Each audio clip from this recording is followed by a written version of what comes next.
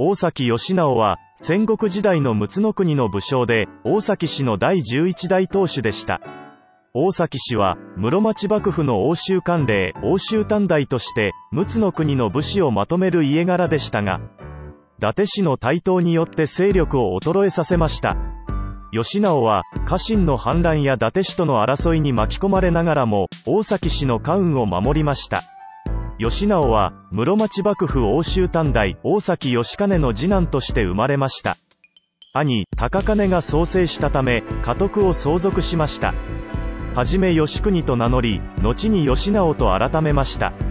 大崎氏は、伊達種宗が陸奥国守護に任じられたことで、欧州第一の地位を失いました。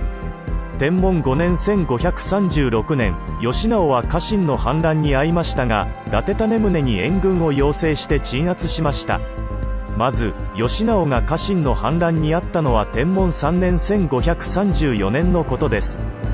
反乱を起こしたのは新田頼朝という人物で、彼は大崎氏の重臣であったにもかかわらず、出資を拒否しました。その理由は不明ですが、おそらく義直の政治に不満を持っていたのでしょう。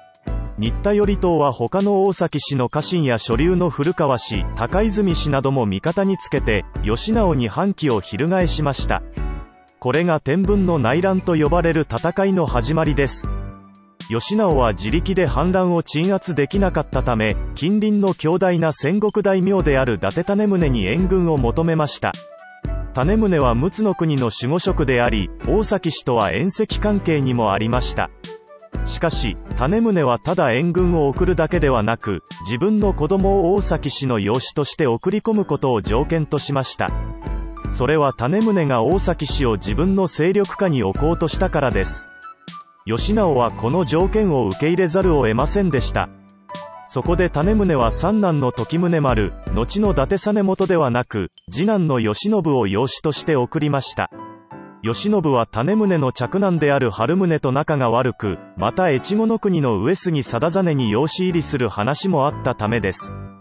慶喜は天文5年1536年に大崎市に入りました。そして義直の兄高兼の娘、梅光姫と結婚しました。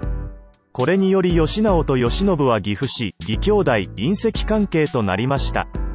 伊達種宗が援軍を送ったおかげで、天文5年1536年に天文の内乱は終結しました。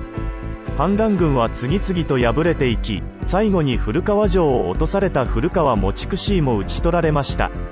しかし、この内乱が終わっても大崎氏の平穏は長く続きませんでした。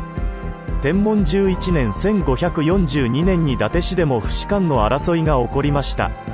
それが天文の乱と呼ばれる戦いです。天文の乱では、種宗方についた慶喜は春宗方についた義直と敵対することになりました。慶喜は大崎氏の家督を狙っていたのです。しかし、天文の乱は春宗法が勝利し、天文19年1550年に慶喜は討ち取られました。その後、義直は実子の義高に家督を譲りました。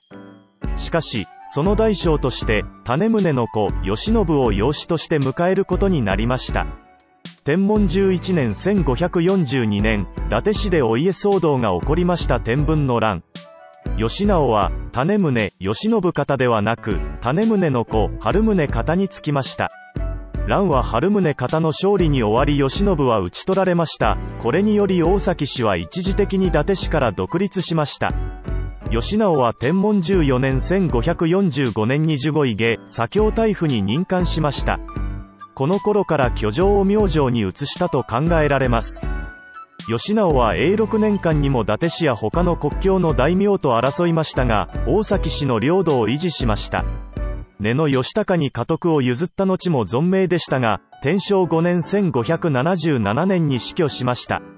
大崎氏はその後も存続しましたが、天正18年1590年に豊臣秀吉の欧州仕置きで改易されました。大崎氏は欧州短大として長く栄えた名門でしたが、戦国時代の激動に巻き込まれて衰退しました。吉直はその中で苦闘しながらも大崎氏を存続させた人物です。